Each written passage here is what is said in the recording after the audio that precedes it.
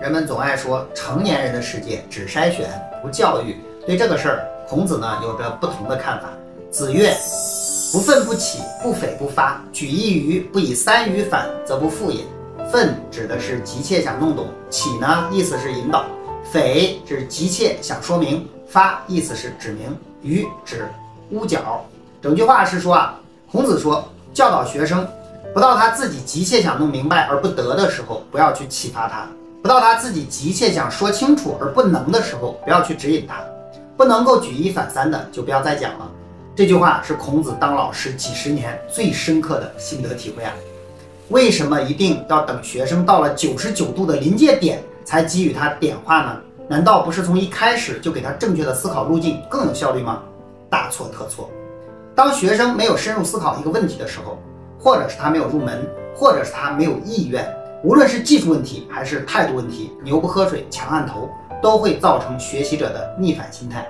所以，最好的教育时刻是等他自己有了强烈的学习意愿，而又不得其门而入时。那老师说什么他都愿意听，教育成果自然是棒棒的。孔子的这个教育理念对我们有三个启发：第一，有耐心；第二，抓时机；第三，做筛选。我们先来讲第一点，有耐心。十年树木，百年树人。教育呢，它是一个长线工程。一个人愿不愿意学，会不会学，这是有他心理成熟的自然成长规律的。如果我们拔苗助长，在幼儿阶段，你就去教逻辑；在小学阶段呢，你就教哲学。显然，这会适得其反。即便他到了应该好好读书、上进学习的年龄呢，有的人心理成熟度比较低，没有意识到刻苦学习的重要性。老师和家长如果采取强迫手段，不仅不会修正他的行为，还会制造出矛盾和仇恨。那我们应该怎么办呢？以身作则，循循善诱。孔子他首先自己啊好学不辍。给学生们树立一个良好的榜样，然后经常去表扬那些好学上进的学生。对于没有束修的，也不会上杆子去教育他，而是等着他自己去醒悟。其实教是教，不教也是教。不教呢，就让那些被冷落的学子自己慢慢的开悟，而后愤与悱，这就水到渠成了。如果再有哪个家长，他对于自己的孩子啊不好好读书，感觉到郁闷和绝望的，那就去学习孔子，从自己好好读书做榜样开始吧。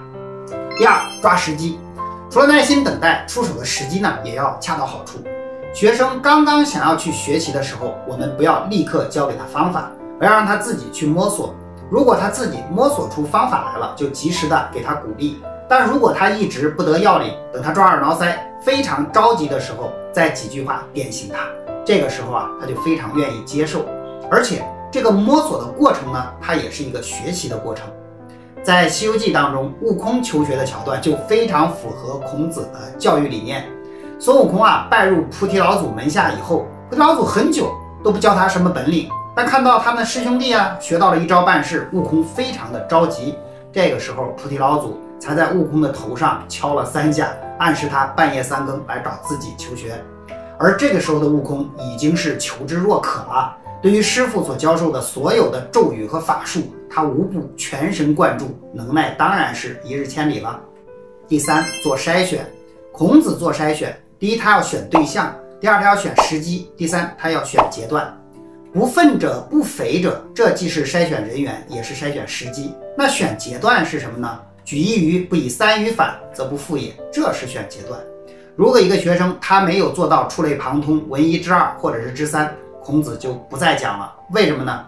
因为学生他还没有达到中等以上的能力水准，这个时候你多讲他吸收不了啊，他会造成脑雾。而且你为了避免信息过载，你最好的办法是叫停，等着他自己跟上来。